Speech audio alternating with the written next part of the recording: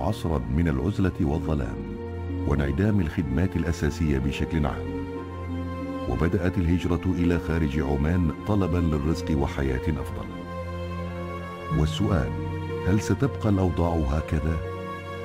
ومتى سيشرق الفجر الجديد على عمان وأهلها؟ لذا كان الثالث والعشرون من يوليو من عام 1970 بمثابة العهد الجديد والأمل والنهوض من الأحوال الصعبة التي يعيشها الوطن إلى عهد النور والنهضة الشاملة. فكانت المسؤولية التاريخية في البيان الأول لجلالة السلطان قابوس بن سعيد المعظم.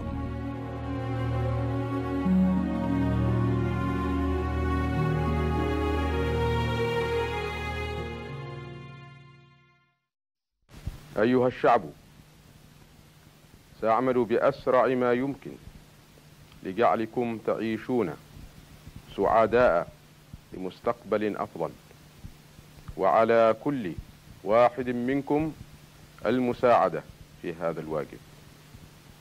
كان وطننا في الماضي ذا شهرة وقوة. وإن عملنا باتحاد وتعاون فسنعيد ماضينا مرة أخرى. وسيكون لنا المحل المرموق في العالم العربي. كانت عمان بالأمس في ظلام ولكن بعون الله غدا سيشرق فجر جديد على عمان وأهلها.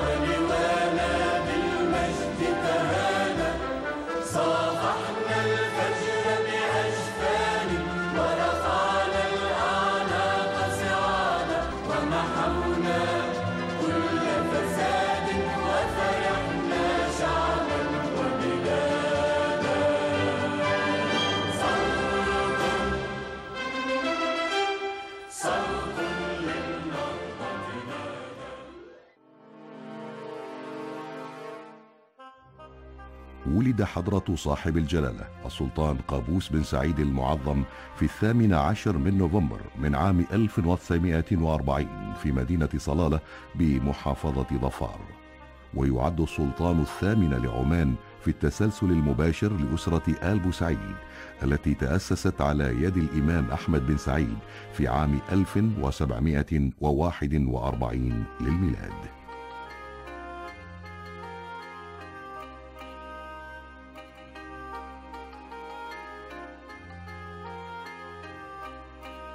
تلقى جلالته حفظه الله أولى مراحل تعليمه في عمان.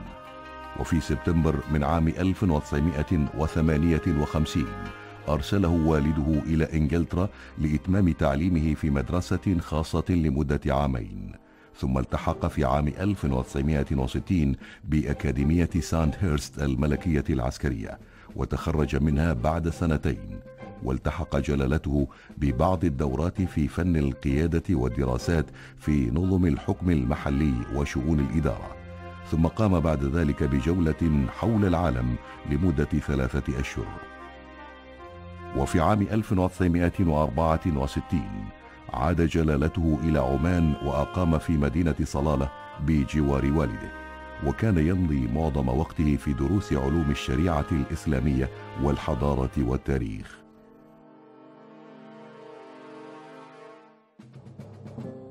وبتاريخ الثالث والعشرين من يوليو من عام 1970 تولى حضرة صاحب الجلالة السلطان قابوس بن سعيد المعظم مقاليد الحكم في البلاد ليفتح صفحة جديدة من تاريخ عمان.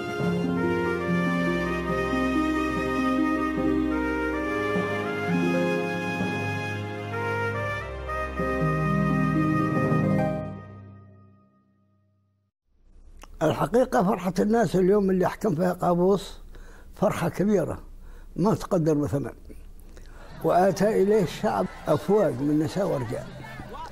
وصلنا إلى الساحة وعندما وصلنا للساحة حصلنا الاستقبال منه. ما بقى شخص اللي ما عانقه وسلم عليه. واستقبل الناس وحياهم بمحاياة طيبة وطيب وبشرنا بكل الخير.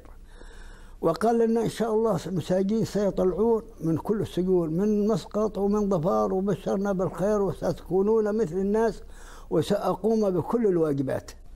وإنني هذا واجباتكم وحقكم معلق على عاتقي وأوفي فيه بإذن الله.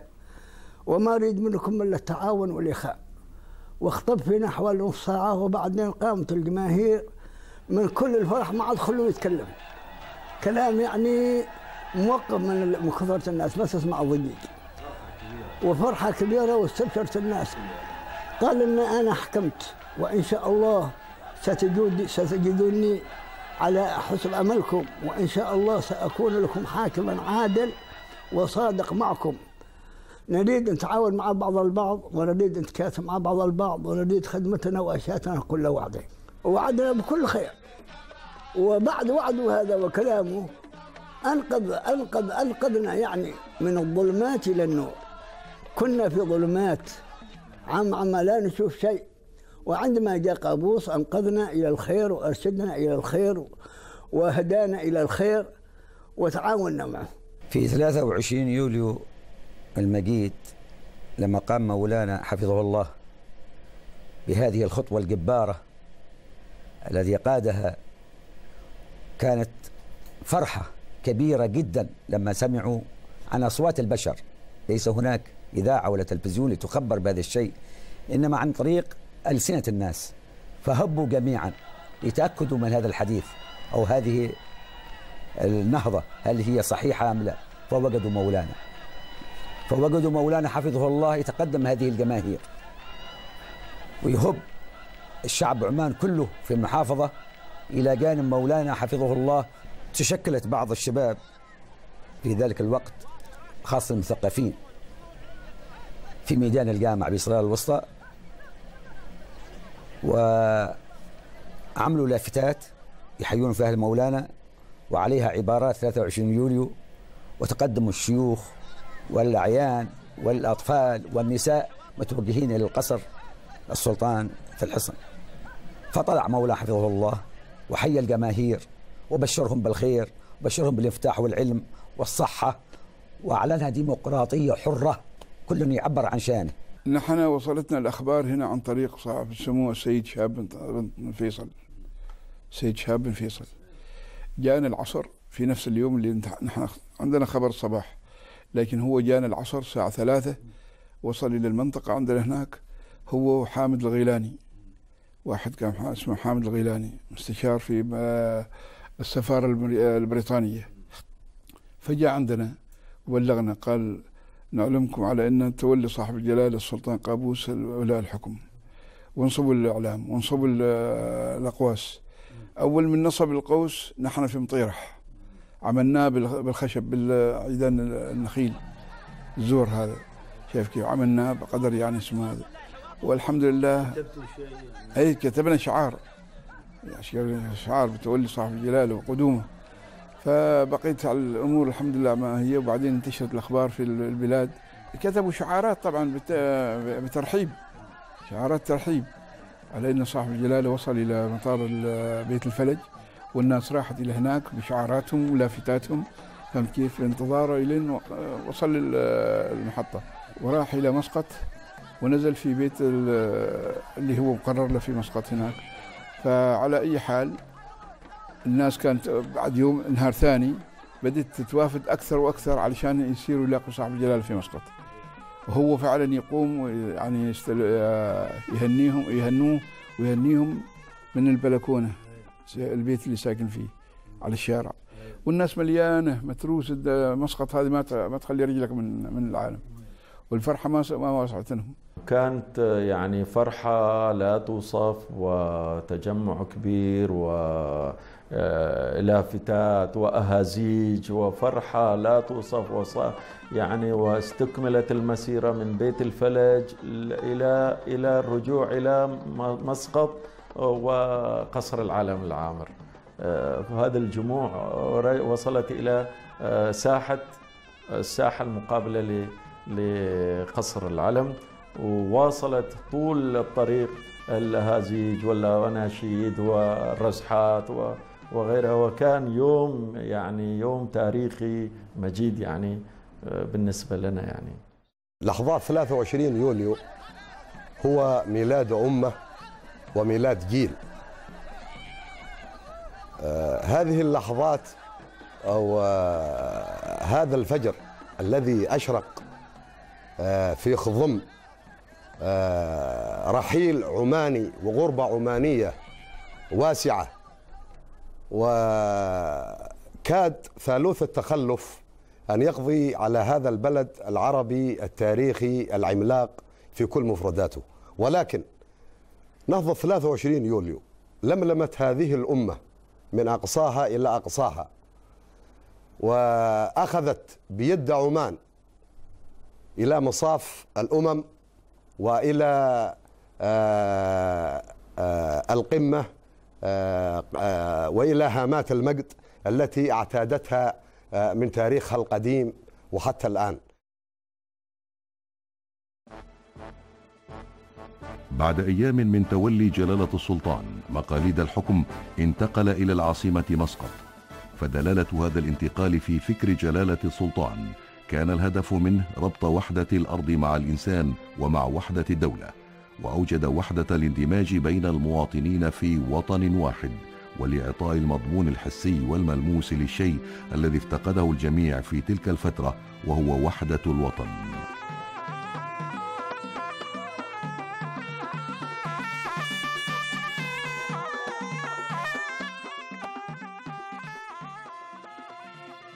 يوم وصول صاحب الجلالة.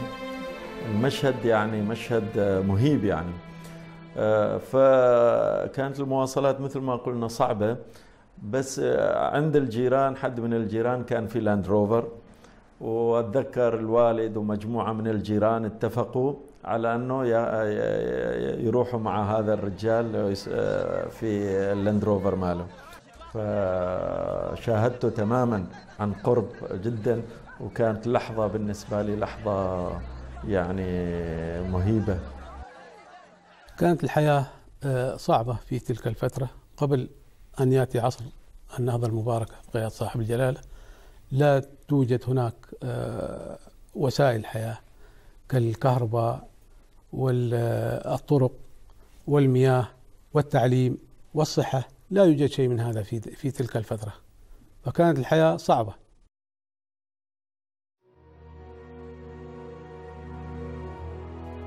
بناء المستقبل والخروج من العزلة والاتحاد بين الحكومة والشعب كالجسد الواحد رؤية جلالة السلطان إلى المستقبل.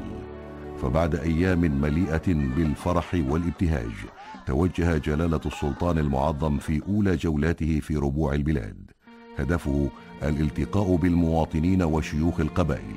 فكانت بدايات برلمان عمان المفتوح حيث لقاء القائد والشعب. فشكلت هذه الجولات الرؤية الجديدة لمستقبل عمان وحلم جلالة السلطان في رؤية بلده والالتقاء بشعبه بعد سنوات من العزلة. وأصبحت هوية الدولة الجديدة سلطنة عمان بدلا من حكومة مسقط وعمان ليعطي جلالة السلطان لمبدأ الوحدة الوطنية والاندماج والولاء للوطن أولا وأخيرا أهمية كبرى في مسار التنمية.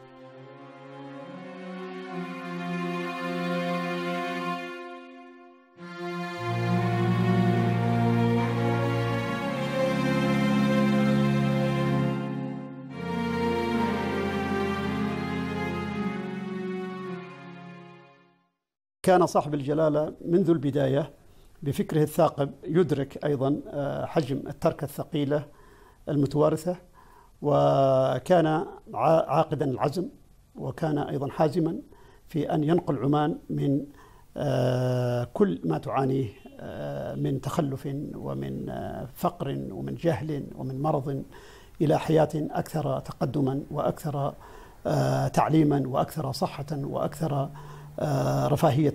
فكانت الوعود السامية هي الأمل حقيقة اللي بدأ به صاحب الجلالة يبشر به أبنائه وشعبه. وكانت هذه حقيقة من من من أجمل اللحظات التاريخية في تاريخ عمان آه، أن أن يكون هناك أمل جديد. وأمر جلالة السلطان باستحداث علم جديد من ثلاثة ألوان الأبيض والأحمر والأخضر بدلا من علم السلطنة الأحمر القديم. كما أمر جلالته بتغيير مسمى الريال السعيدي إلى الريال العماني وأمر بتشكيل حكومة جديدة قادرة على البدء فورا في إيجاد حلول سريعة وفعالة لاحتياجات المواطنين. ووضع التدابير ذات الأوقات في جميع المجالات والعمل على تطبيقها بأسرع وقت ممكن. كما وجه جلالة السلطان نداء إلى أبناء الوطن في الخارج لكي يعودوا إلى الوطن ويساهموا في عملية التحديث والبناء فعمان لن تنهض إلا بسواعد أبنائها.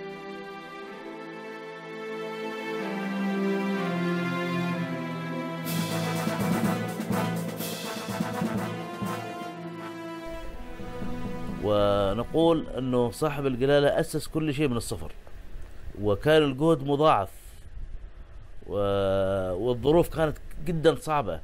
أنا أذكر حتى المستشفيات كانت عبارة عن يعني إسعافات سريعة جدا وفي أماكن غير مهيئة ولكن هيئت في ظروف يعني في أوقات جدا قصيرة من أجل الناس فعلا كانوا في حاجة لخدمات. يعني آه المدارس فتحت في الجبال في السهل في كل مكان الطرق شقت. من أجل إيصال الخدمات هذه إلى كل مكان.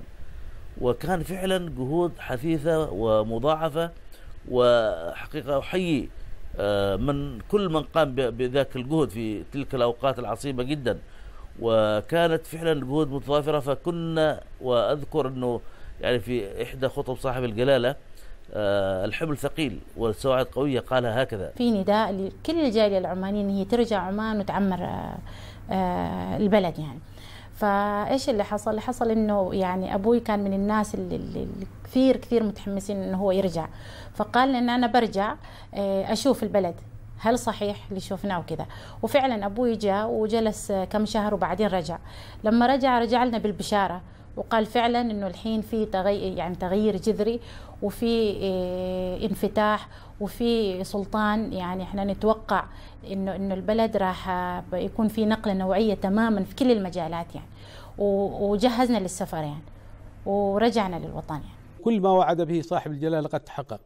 هناك فرق شاسع بين ما يعيشه المواطن في فترة ما قبل النهضة وفترة وعصر النهضة الآن الذي يعيشه كل مواطن. وتغيرت الحياة بشكل عام. أنا أذكر أن هنا في مدينة صور بدأنا هنا بمدرسة واحدة بعد ما تقدمنا بطلب من تقدم المشايخ بطلب لمدرسة ومستشفى وتوجهنا بهذا بهذا الطلب إلى الحكومة الرشيدة. وبدأوا جانا هنا زارنا وزير آه، التربية وزير المعارف في هذاك الوقت السيد فيصل. وكان وكيل كان وكيل للمعارف أظن في هذه الفترة. وبدأنا ويشرفني أن أكون أحد المؤسسين لمدرسة أحمد ماجد أول مدرسة تأسست هنا في صور. وبدأنا بعدد بسيط جدا يعني لا لا توجد مقاعد استأجرنا منزل. وبدأنا بمنزل مستأجر ولا توجد طاولات ولا كراسي ولا حتى الصبورات اللي هي الألواح هذه. عملناها محليا هنا وبدأنا في في التدريس. والآن الحمد لله وين؟ اللي كانوا اللي درسوا في هذه المدرسة الآن منهم حصل على دكتوراه وماجستير ويواصل دراسات عليا.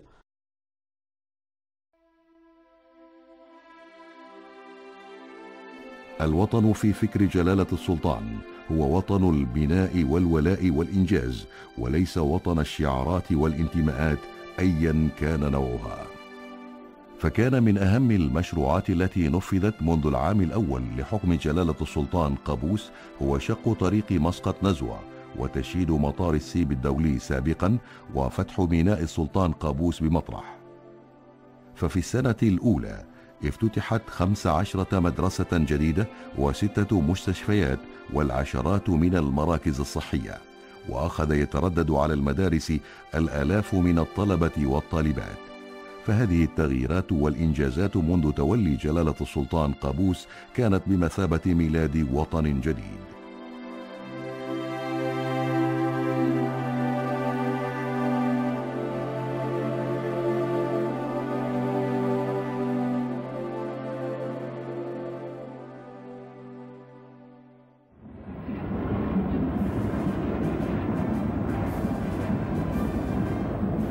في الحادي عشر من ديسمبر من عام 1975 للميلاد. أعلن جلالة السلطان قابوس المعظم أمام مئة ألف شخص احتشدوا في الملعب الرياضي بلوطية في مسقط احتفالا بالنصر أن الحرب قد انتهت وبدأت مرحلة البناء والمستقبل للوطن والمواطنين.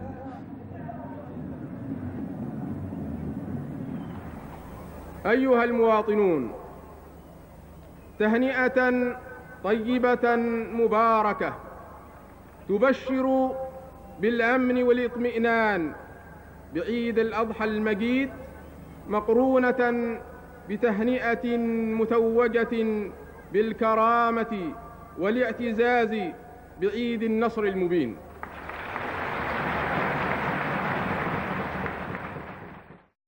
فتجلت أهم خصال السلطان في إنسانيته وحكمته في العفو والتسامح والرحمة في من أخطأ في حق الوطن. وقال جلالة السلطان عفى الله عما سلف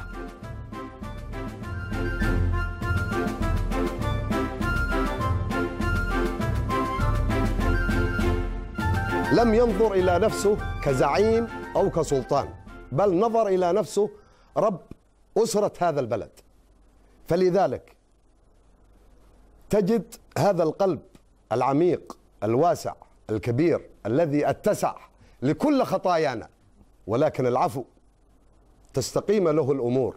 وهذه منهجية قابوس. منهجية قابوس إنه مهما مهما المواطن أخطأ لا ينظر لهم كحاكم ولا ينظر لهم كسلطان ولا ينظر لهم على سبيل المثال بأنه هذا النظام كذا وهذا النظام كذا لا. ينظر لهم أنه هؤلاء أبناء.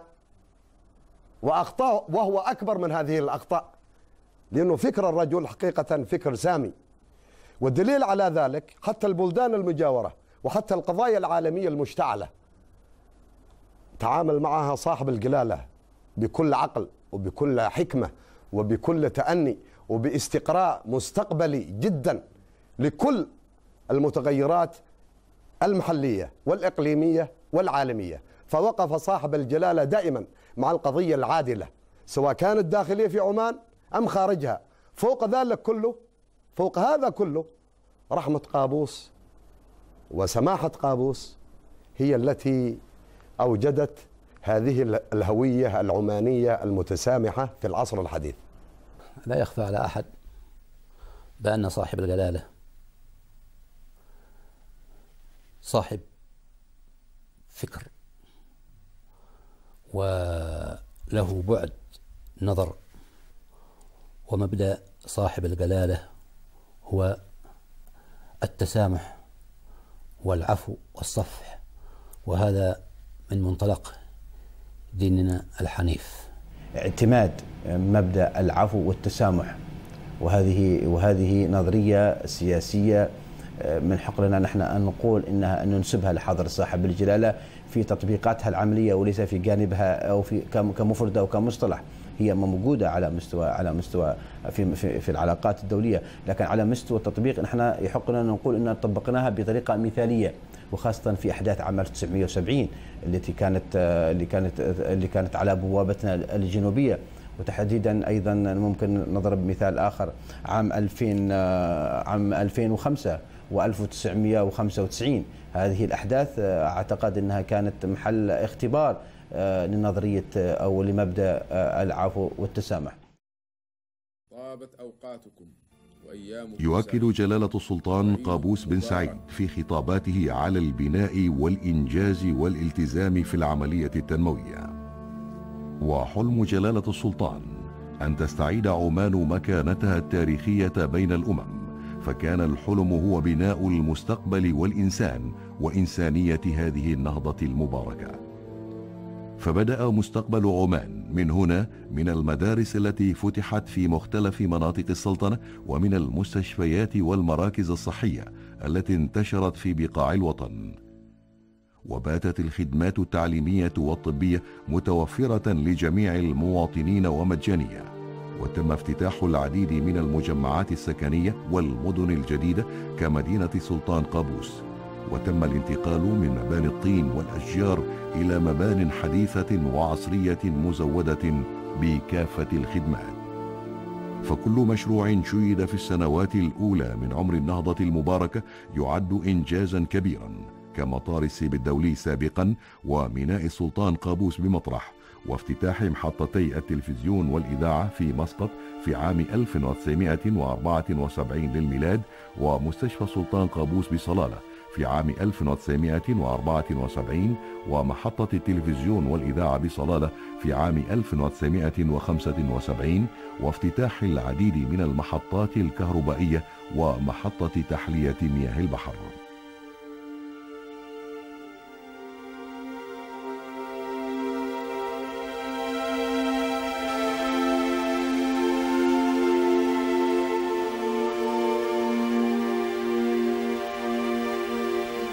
فالطرق المعبدة التي تربط العاصمة بمدن الباطنة والداخلية والشرقية غيرت على جناح السرعة نمط الحياة القائم في تلك الفترة وعملت على تحسين مستوى معيشة المواطنين.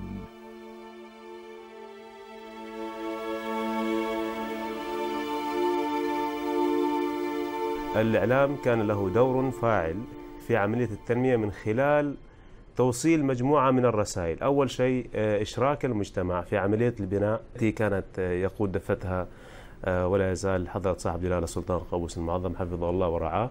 هذا من جهة. الجهة الثانية كان عنصر داعم وأساسي في زيادة اللحمة الوطنية والوحدة السياسية بين فئات المجتمع المختلفة. وأيضا كان له دور تعليمي وتثقيفي خاصة أن في تلك الفترة ينبغي أن ندرك نسبة التعليم مثل ما قلنا كانت غير متوفرة وغير منتشرة ونسبة الأمية كانت كثير عالية وقلة المدارس مع وجود مجموعة من الناس أيضا لم تتاح لها فرصة الالتحاق بالمدارس النظامية. فإذا جينا إلى الأبعاد الأساسية في عملية التنمية كالبعد الاقتصادي والبعد الاجتماعي والسياسي البعد الإعلامي كان من الأهمية بمكان منذ تلك الفترة من عام 1970 حتى الآن لكي يكون ذا دور فاعل وشريك أساسي في عملية التنمية والبناء حتى هذه اللحظة. كان من المهم جدا من وجهة نظر صاحب الجلالة الله يحفظه على أنه المشروع النهضة لابد أن ينبثق من واقع المجتمع العماني لا أن يكون مشروعا مستوردا. والحقيقة أن هذه النظرة كانت نظرة واقعية ونظرة لها ما يبررها أثبتت كفاءتها على مدى أربعة عقود. اليوم من المجتمع العماني خطى خطوات ثابتة راسخة كانت أحد ضمانات نجاح هذه التجربة وهذا المشروع النهضوي. كان أبسط شيء أنه يفتقر إليه الإنسان قبل عام 70 هو التعليم والصحة ومصادر الرزق التي كانت ربما تكون ضيقة في تلك الفترة. فأولها التعليم. التعليم كان هو أساس يعني وكان مهم جدا إضافة إلى الجوانب الرعاية الصحية. وهذه الحمد لله أتيحت فكانت في متناول الجميع. المجالات فتحت أمام الكل. الكل توجه إلى المدارس. الكل حظي بالرعاية الصحية. فهذه التي يعني غيرت مسار الإنسان. لأنه كان يعني هدف التنمية هو الإنسان. حقيقة عندما نريد أن نتحدث عن إنجازات الأربعين عام يمكن أن نلخصها في التالي. عندما يخطط المخططون أو المنظرون لمسيرة شعبية بمناسبة 23 يوليو أو بمرور 40 عام كتلك التي خرجت من صلالة محافظ ظفار آه، يخططون على على أن تكون قوامها أو عددها أربعين ألف ويخرج من محافظ ظفار قرابة المئة ألف يحملون العلم وصورة حاضر صاحب الجلالة ماذا يعني ذلك؟ عندما تدخل المسجد من مساجد السلطنة شمالها شرقها جنوبها وتشاهد في المصلين يصلون بمختلف مذاهبهم ماذا يعني ذلك؟ عندما عندما يذوب البعد المناطقي وعندما تتوحد النفسيات آه، داخل هذه الجغرافيا الوطنية ماذا يعني ذلك؟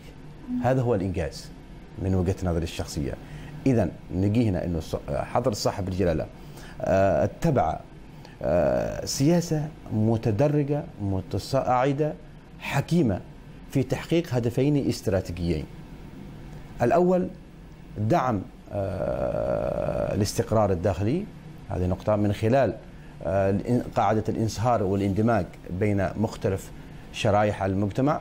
هذا هو إنجاز آخر من الإنجازات ممكن نتحدث ثانيا بناء آه، نظام سياسي يستوعب المتغيرات ويحتوي الجغرافيا بمكوناتها آه، البشرية أيضا بمختلف هذه آه، المكونات. ماذا أنتجت هذه السياسة؟ هذه سؤال مهم. أنتجت دولة عصرية محبة للسلم الداخلي وللسلام الخارجي. وسياستنا الخارجية هي كانت واضحة يعني وضوح الشمس. فهي دائما وأبدا أنه نحن نريد أن نصادق كل شعوب العالم. وأن تكون لنا علاقات مع كل شعوب العالم. ولكن هناك أسس يجب أن تكون أولا آه، واضحة آه، لدى من يريد أن يمد يده لنا. وهذه معروفة يعني سياسة السلطنة الخارجية معروفة هي الاحترام المتبادل عدم التدخل في الشؤون الداخلية والعمل من أجل الاستقرار والسلام في العالم وبما معلوم أنت إذا تعمل من أجل استقرار في منطقة أنت ساهمت ما في شك مساهمة لأنه كل منطقة هي جزء من العالم ككل يعني. حدد جلالة السلطان قابوس بن سعيد معالم السياسة الداخلية والخارجية منذ عام 1970 من منطلق المبدأ السياسي وهو التعاون والعلاقات مع الدول الخارجية التعاون القائم على الاحترام المتبادل وعدم التدخل في شؤون الغير وهي من المبادئ التي ذكرت في هيئة الأمم المتحدة. ويستند جلالة السلطان قابوس بن سعيد إلى قاعدة التفاهم والحوار والتعاون والصداقة. استطاعت سلطنة عمان حل جميع قضايا الحدود مع جيرانها بالطرق السلمية مع دولة الإمارات العربية المتحدة والمملكة العربية السعودية وجمهورية اليمن. وهذا يدل على الأفق البعيد لجلالة السلطان وعلى أن سياسة عمان سياسة عملية حيوية وتتكيف مع المتغيرات الإقليمية والدولية. ما يميز السياسة الخارجية العمانية أنها هي سياسة تتبنى التعاون وليس التخاصم. هي سياسة ترمي إلى الاستفادات المتبادلة وليس استغلال وضع معين أو شيء معين. وبالتالي هذه السياسة عبر عنها صاحب الجلالة عدد من المرات أننا بالفعل آه، ننتهج سياسة لا نخاصم فيها أحدا نعنى بما نحن فيه نريد الاستفادة للجميع. وهذه أيضا من الأمور التي استقرت في المفهوم العالمي الآن. فإذا ما ميز السياسة العمانية على مدى هذه السنوات أنها عنيت بالفعل بما يعنيها وركزت على جلب الاستفادة من الخارج بما آه، يصب في التنمية الداخلية وبالتالي يكون هناك هذا الوصل والتوصيل بين عملنا في الخارج وبين بنائنا في الداخل.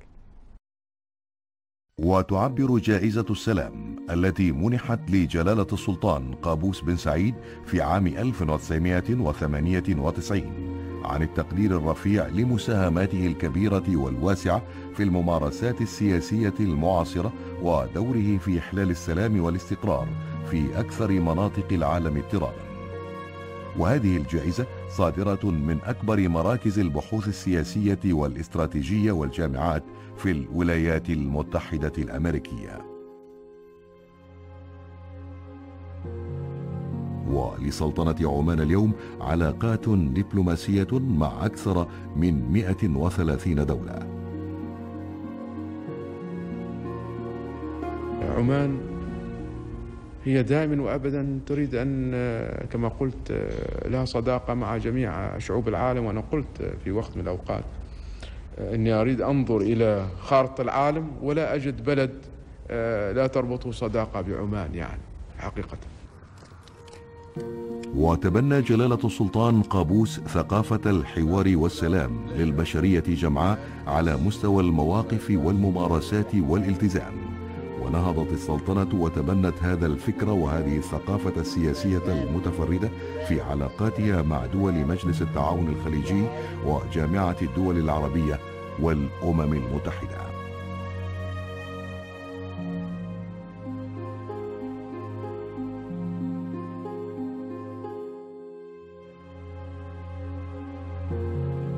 غدا جلالة السلطان قابوس بعد سنوات من النهضة. من أكثر العمانيين اطلاعا وإدراكا بأحوال الوطن والمواطن وتحولت جولاته السنوية مع مرور الوقت إلى منهج وطريقة من طرق العمل السياسي والتشاوري وإلى مجلس عام فريد يحضره أبناء الشعب في شكل من أشكال الديمقراطية وبخصوصية عمانية. ويسعى جلالة السلطان منذ اللحظات الأولى لتوليه مقاليد الحكم إلى أن يتجول ويصل إلى أي فرد من أفراد الشعب يستمع إلى طلباتهم واقتراحاتهم. يدخلون في حوار وطني بناء هدفه رقي الوطن والمواطن. فغدت مناطق وولايات عمان برلمانا مفتوحة.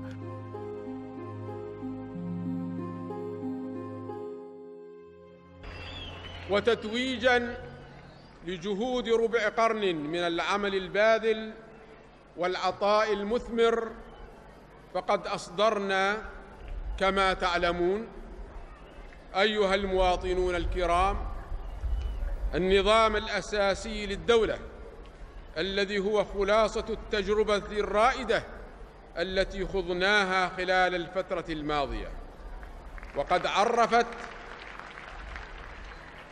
وقد عرفت هذه الوثيقة التاريخية الدولة ونظام الحكم فيها ونظام الحكم فيها وحددت المبادئ الموجهة لسياستها في المجالات المختلفة. كما بينت الحقوق والواجبات العامة وفصلت الأحكام الخاصة لرئيس الدولة ومجلس الوزراء والقضاء وأشارت إلى المجالس المتخصصة والشؤون المالية ومجلس عمان وأحالت بيان الأحكام في كل منها إلى المراسيم والقوانين التي سوف تصدر في هذا الشأن. المسألة الدستورية في بناء الدولة العمانية الحديثة. بجانبها الإنساني عندما نتحدث عن فكر حاضر الصاحب الجلالة نجد انه انه إنه حضر صاحب الجلالة كمشرع دستوري صاغ النظام الأساسي للدولة الذي هو بمثابه الدستور. وفق سياسي وفق فكر سياسي منطقي وعقلاني يستجيب لتحديات الدولة الجديدة في مرحلة الثمانينيات والسبعينيات على وجه التحديد. وأيضا يستوعب التركيبة الاجتماعية والثقافية للمجتمع العماني. وهنا تاتي أهمية النظام الأساسي للدولة كونه إنه كدستور كونه إنه يمثل نوعية الدولة في في العصر الحديث. دولة دون دستور هي دولة بوليسية. دولة بدستور هي دولة قانون والمؤسسات.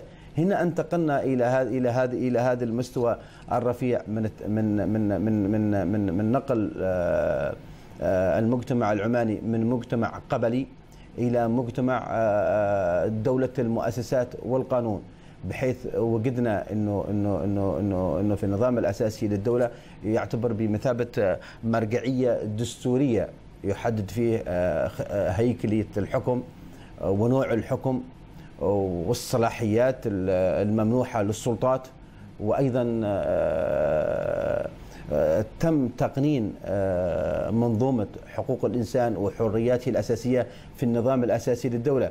وهنا يطرح تساؤل لماذا تم ادراج حقوق الإنسان وحرياته الأساسية في النظام الأساسي للدولة؟ هذه هنا آه، تتجلى لنا حقيقة البعد الإنساني آه، في آه، في ادراج آه، منظومة حقوق الإنسان آه، في في النظام الأساسي للدولة. وذلك بهدف ضمانة هذه الحقوق. حقوق الإنسان ضمانة حقوق الإنسان عندما ندركها عندما آه، آه، قرر المشرع الدستوري العماني وهو حضر صاحب الجلالة هنا يمثل حضر صاحب الجلالة ادراج منظومة حقوق الإنسان في النظام الأساسي للدولة يري- آه، الهدف منه استقراءنا لهذه الفكر السياسي الرفيع هو أن تصبح أن تصبح حقوق الإنسان آه، كنصوص دستورية مثلها مثل نظام الحكم. فمن هنا ألقينا أول كلمة لنا. عبرنا من خلالها على عزمنا على العمل من أجل بناء الدولة الحديثة والنهوض بالبلاد في شتى المجالات قدر المستطاع. ومن ذلك الحين فقد أخذنا بالأسباب لتحقيق ما وعدنا به. وإنه لمن موجبات الحمد والشكر لله العلي القدير أن تمكنت عمان خلال المرحلة المنصرمة من إنجاز الكثير مما تطلعنا إليه. نجد أن هناك مجموعة من الرسائل. عملية البناء التي تمت خلال الأربعين عاما التي مضت لم تكن عملية عملية سهلة لم تكن عملية مفروشة بالورود والزهور وبالأريحيات وإنما كان عملية تحققت بجهد آه، كبير جدا على هذا الأساس جاء الخطاب لي- ليقول الآن علينا ألا نتفاخر بما أنجز ولكن علينا من جهة أن نحافظ وأيضا أن نواصل هذه المسيرة. الجزء الثاني والذي ربما كانت آه، في آه، نوع من المحاولة بأن نكون جادين في هذا الجزء والبقاء على هذه السياسة اللي هو عدم المساس وعدم التدخل في الشؤون الداخلية بالغير وأيضا رفض في المقابل وهذه رسالة أخرى رفض أن نقبل آه، إملاءات من الغير على المواطن العماني وعلى الشعب العماني. ومعناته انه ينبغي أن نكون متماسكين وأن ن- أيضا نقف على هذه الوحدة وأن نستمر عليها بل بل نعز- نعززها وتكون هي المنهج الذي ربما نستمر عليه. آه، الحقيقة آه، أن هذا الخطاب حمل آه، دعوة إلى آه، أجيال عمان الشابة وإلى آه، أجيال عمان المستقبلية آه، في الحفاظ على مكتسبات هذه النهضة الحفاظ على مكتسبات هذه النهضة لا يعني الوقوف عندها فقط يعني يعني الحفاظ على آه، قيم هذه النهضة الحفاظ على منهج هذه النهضة الحفاظ على خطها واتجاهها في النمو الراسخ الثابت المتواصل وفقا لقيم وثوابت النهضة في بنائها الداخلي أو في علاقاتها بالعالم الخارجي كما أكد صاحب الجلالة في هذا الخطاب وخطابات أخرى سابقة. بعد مضي أربعين عاما يؤكد جلالة السلطان أن عمان بتوفيق من الله العلي القدير تمكنت من إنجاز الكثير مما تطلع إليه ورسمه جلالته حفظه الله. فجاء النطق السامي بمثابة مرحلة فاصلة بين الوعد والوفاء وبين البناء والإنجاز وهي خطوات مدروسة متدرجة تبني الحاضر وتمهد للمستقبل المشرق. وتؤكد على أهمية المحافظة على هذه المنجزات وصونها وحمايتها ومواصلة المسيرة للأجيال الحالية واللاحقة.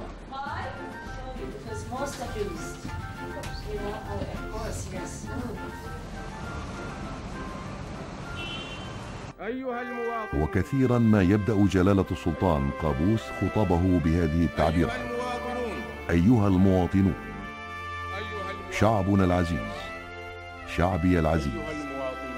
فهذه الكلمات كانت تشكل الشعور العميق والاعتقاد الراسخ للترابط الإنساني المتبادل بين القائد وشعبه والشعور بالمسؤولية تجاه الشعب وأن يكون المواطن هو الهدف والوسيلة للنهوض والتقدم والتناغم والتطور والحداثة مع قيم العصر مع المحافظة على التقاليد والعادات وقيمنا الإسلامية.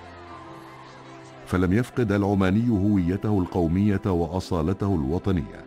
فجلالة السلطان قابوس بن سعيد جسد شخصية الوطن في الأخلاق وفي احترام العادات والتقاليد والقيم الإسلامية وفي الحوار والسلام للبشرية. قيم متأصلة شكلت ملامح مشروع النهضة العمانية.